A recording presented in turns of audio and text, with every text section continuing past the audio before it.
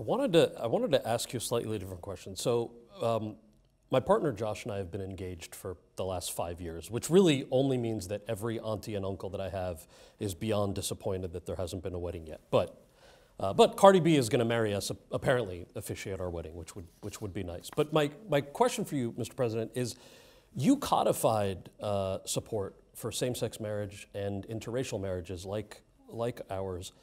I'm curious what your evolution was like on marriage equality and what the federal government might be able to do to protect LGBTQ Americans, especially trans kids who are dealing with all these regressive state laws that are popping up right now.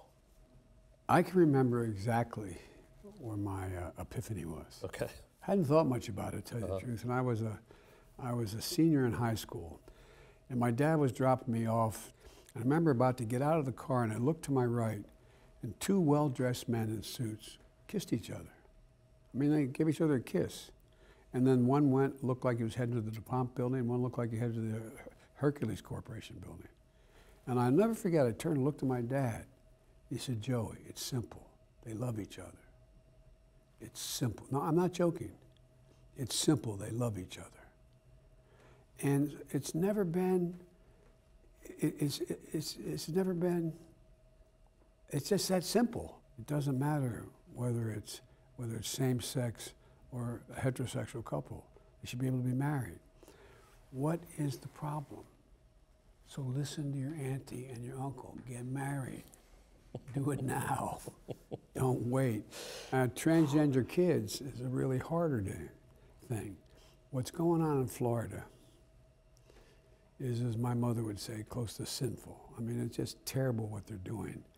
It's not like, you know, a kid wakes up one morning and says, you know, I decided I want to become a man or I want to become a woman or I want to change. I mean, what, what, what, are they thinking about here? They're human beings. They love, they have feelings, they have inclinations that are, I mean, it, it just to me is, I don't know, it, it's cruel.